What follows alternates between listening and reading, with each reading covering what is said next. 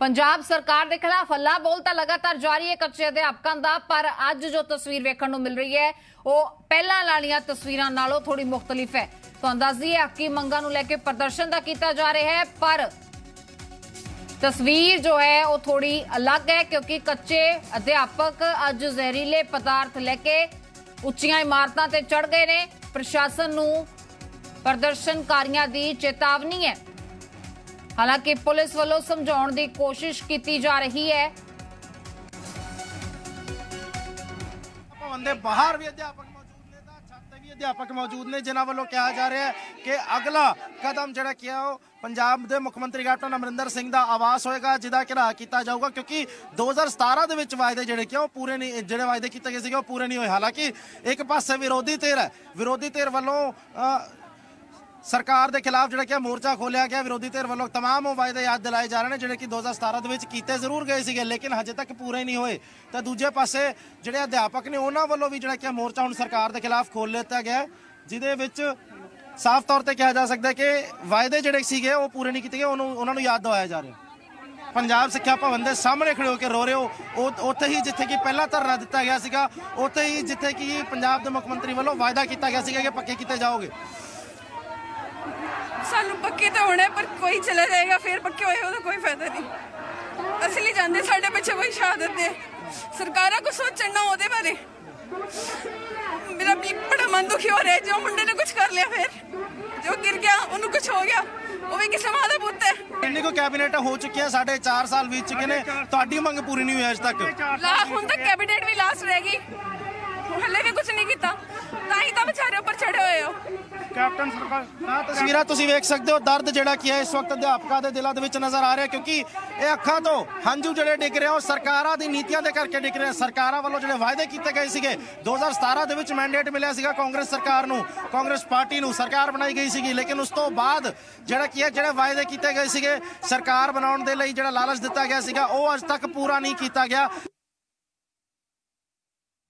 ਇਸੇ ਤੇ ਸਾਡੇ ਸਹਿਯੋਗੀ ਅਨਮੋਲ ਗੁਲਾਟੀ ਸਾਡੇ ਨਾਲ ਲਾਈਵ ਵੀ ਜੁੜ ਚੁੱਕੇ ਨੇ। ਸਿੱਧੇ ਉਹਨਾਂ ਦਾ ਰੁਖ ਕਰਾਂਗੇ। ਅਨਮੋਲ, ਸਥਿਤੀ ਕਾਫੀ ਤਣਾਅਪੂਰਨ ਬਣੀ ਹੋਈ ਹੈ। ਮੌਜੂਦਾ ਕੀ ਤਸਵੀਰ ਹੈ? ਕਿ ਅਧਿਆਪਕਾਂ ਨੂੰ ਮਨਾਉਣ ਦੀਆਂ ਕੋਸ਼ਿਸ਼ਾਂ ਜਾਰੀ ਨੇ? ਪੁਲਿਸ ਕਿਸ ਤਰ੍ਹਾਂ ਦੇ ਭਰੋਸੇ ਦੇ ਰਹੀ ਹੈ ਤੇ ਅਧਿਆਪਕ ਕੀ ਕਹਿ ਰਹੇ ਨੇ?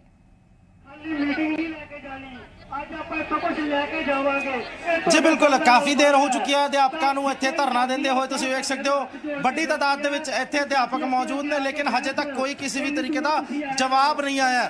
ਦੋ ਤਸਵੀਰਾਂ ਨੇ ਸਭ ਤੋਂ ਪਹਿਲੀ ਤਸਵੀਰ ਪੰਜਾਬ ਸਿੱਖਿਆ ਭਵਨ ਦੇ ਬਾਹਰ ਦੀ ਤੇ ਦੂਜੀ ਤਸਵੀਰ ਪੰਜਾਬ ਸਿੱਖਿਆ ਭਵਨ ਦੇ ਉੱਪਰ ਛੱਤ ਦੀ ਜਿੱਥੇ ਕਿ ਅਧਿਆਪਕ ਮੌਜੂਦ ਨੇ ਕੱਚੇ ਅਧਿਆਪਕ ਜਿਨ੍ਹਾਂ ਵੱਲੋਂ ਕਿਹਾ ਜਾ ਰਿਹਾ, ਜਿਨ੍ਹਾਂ ਵੱਲੋਂ ਆਪਣੇ ਉੱਪਰ ਪੈਟਰੋਲ ਛਿੜਕਿਆ ਗਿਆ, ਉਹਨਾਂ ਵੱਲੋਂ ਕਿਹਾ ਜਾ ਰਿਹਾ ਆਪਣੀ ਜਾਨ ਦੇਣ ਨੂੰ ਵੀ ਤਿਆਰ ਨੇ, ਜੇ ਉਹਨਾਂ ਦੀ ਮੰਗਾਂ ਪੂਰੀਆਂ ਨਹੀਂ ਹੁੰਦੀਆਂ। ਤੇ ਆਪਣੀ ਮੰਗਾਂ ਨੂੰ ਲੈ ਕੇ ਅੱਜ ਅਧਿਆਪਕ ਜਿਹੜੇ ਕਿ ਨੇ, ਪੰਜਾਬ ਸਿੱਖਿਆ ਭਵਨ ਦੇ ਬਾਹਰ ਵੀ ਮੌਜੂਦ ਨੇ, ਪੰਜਾਬ ਸਿੱਖਿਆ ਭਵਨ ਦੀ ਛੱਤ ਤੇ ਵੀ ਮੌਜੂਦ ਨੇ।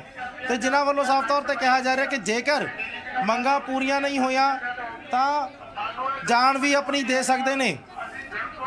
ਤਮਾਮ ਜਿਹੜੇ ਅਧਿਆਪਕ ਨੇ, ਕਿਉਂਕਿ ਸਾਡੇ 4 ਸਾਲ ਪਹਿਲਾਂ ਇਹਨਾਂ ਦੇ ਨਾਲ ਜਿਹੜਾ ਵਾਅਦਾ ਕੀਤਾ ਗਿਆ ਸੀਗਾ ਪੱਕੇ ਕਰਨ ਦਾ, ਉਹ ਵਾਅਦਾ ਹਜੇ ਤੱਕ ਜਿਹੜਾ ਕੀ ਹੈ ਉਹ ਪੂਰਾ ਨਹੀਂ ਹੋਇਆ, ਜਿਹਨੂੰ ਲੈ ਕੇ ਅੱਜ ਰੋਸ਼ ਪ੍ਰਗਟ ਜਿਹੜਾ ਕੀ ਹੈ ਉਹ ਕੀਤਾ ਜਾ ਰਿਹਾ ਅਧਿਆਪਕਾਂ ਵੱਲੋਂ।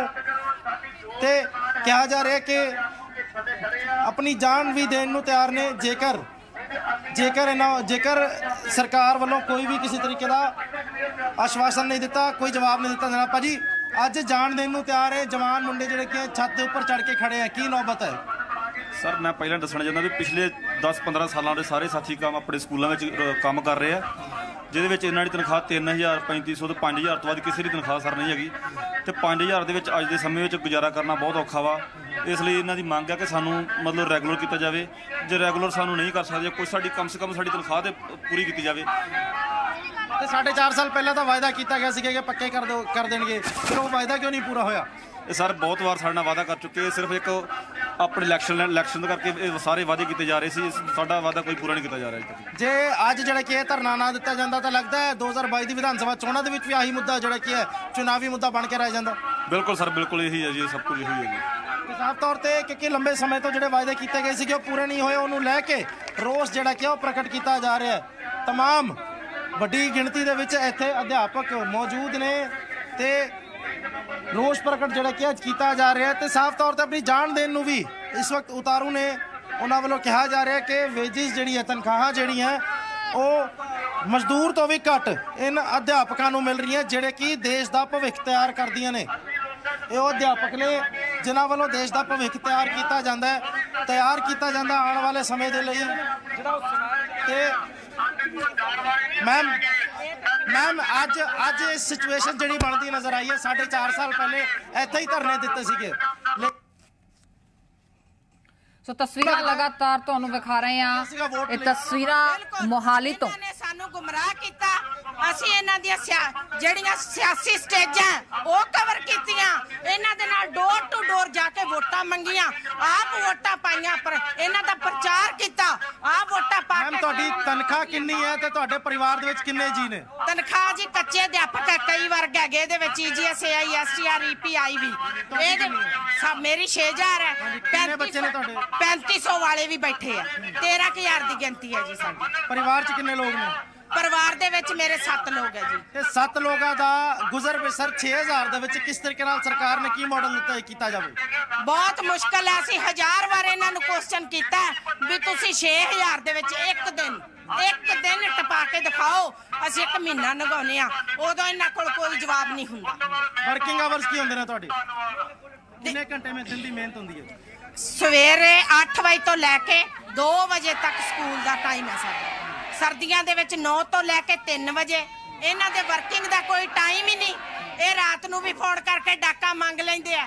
ਐਤਵਾਰ ਵੀ ਡਿਊਟੀ ਲਾ ਲੈਂਦੇ ਆ। ਇਹਨਾਂ ਦਾ ਕੋਈ ਟਾਈਮ ਨਹੀਂ। 6000 ਦੇ ਵਿੱਚ ਇਹਨਾਂ ਨੇ ਮੁੱਲ ਖਰੀਦਿਆ ਸਾਨੂੰ। ਕਿਹਾ ਜਾ ਸਕਦਾ ਕਿ ਮਜ਼ਦੂਰਾਂ ਤੋਂ ਵੀ ਗਈ ਗੁਜ਼ਰੀ ਹਾਲਤ ਹੈ ਤੁਹਾਡੀ? ਬਹੁਤ ਬੁਰਾ ਹਾਲ।